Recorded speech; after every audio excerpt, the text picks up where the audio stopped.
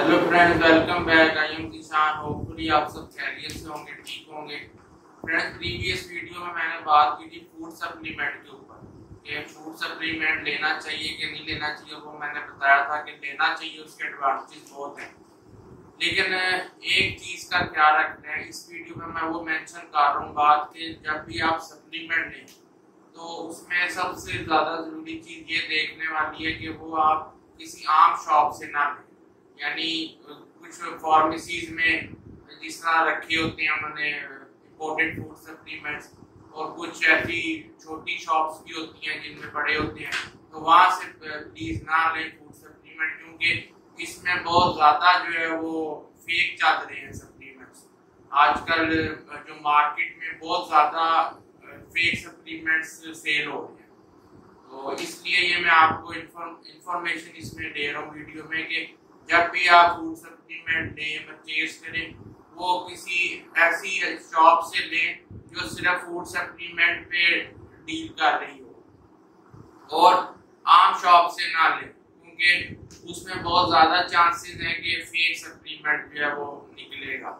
تو پیسے بھی جو ہے وہ ضائع ہو جائیں گے اور چیز بھی جو ہے وہ صحیح نہیں ملے گی۔ تو اس کے لیے یہ ہے کہ شاپ ایسی ہو، جہاں سے پتا ہو کہ چیز اوریجنل ملے گی۔ ایسی شاپ ہے ایک، وہ میں انشاءاللہ آپ کو بتاؤں گا کہ وہ کس جگہ پہ اور وہ تقریباً ٹوینٹی فائیو ایئر سے فوڈ سپلیمنٹس میں ڈیل کر رہے ہیں اور وہ باہر سے منگواتے ہیں فوڈ سپلیمنٹ امپورٹڈ اوریجنل تو ان کو اپروکسیمیٹلی ٹوینٹی فائیو ایئرز ہو گئے ہیں، صرف اسی چیز میں وہ ڈیل کر رہے ہیں فوڈ سپلیمنٹس میں۔ تو آپ کو میں ویڈیو میں لنک بھی شو کر دوں گا۔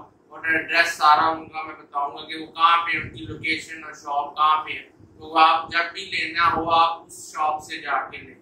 کیونکہ وہ ہنڈریڈ پرسینٹ اوریجنل چیز ملے گی وہاں سے۔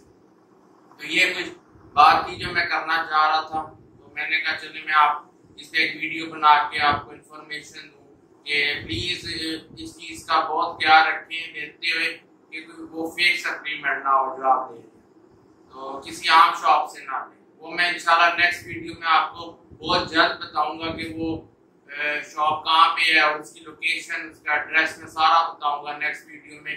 تو آپ کائنڈلی ادھر سے جا کے پرچیز کریں۔ جب انشاءاللہ یہ لاک ڈاؤن ختم ہوگا اور جمس وغیرہ کھلیں گے، سب کچھ اوپن ہوگا نارمل لائف شروع ہوگی۔ تو اس وقت میں آپ جو ہے، اس شاپ پہ جا کے لیں۔ فوڈ سپلیمنٹ جب بھی لینا ہو وہاں سے لیں۔ تو میں بھی اس چیز کی کر رہا ہوں کہ اللہ تعالیٰ کے فضل و کرم سے صورتحال بالکل ٹھیک ہو جائے اور نارمل لائف شروع ہو جمس وغیرہ کھلیں، تو میں پھر سے سٹارٹ کروں ٹریننگ اور میرا پلان یہ ہے انشاءاللہ کہ میں دو ٹائم کروں گا ٹریننگ تاکہ ریکوری فاسٹ میں اپنی کر سکوں اور پہلے والی فارم میری جلدی آ جائے۔ تو انشاءاللہ تعالی میں نیکسٹ ویڈیو میں آپ کو بتاؤں گا کہ وہ کہاں سے اوریجنل فوڈ سپلیمنٹ انشاءاللہ نیکسٹ ویڈیو میں ملاقات ہوتی ہے، اپنا خیال رکھیں وہ، اور انشاءاللہ ملتے ہیں۔ بہت شکریہ۔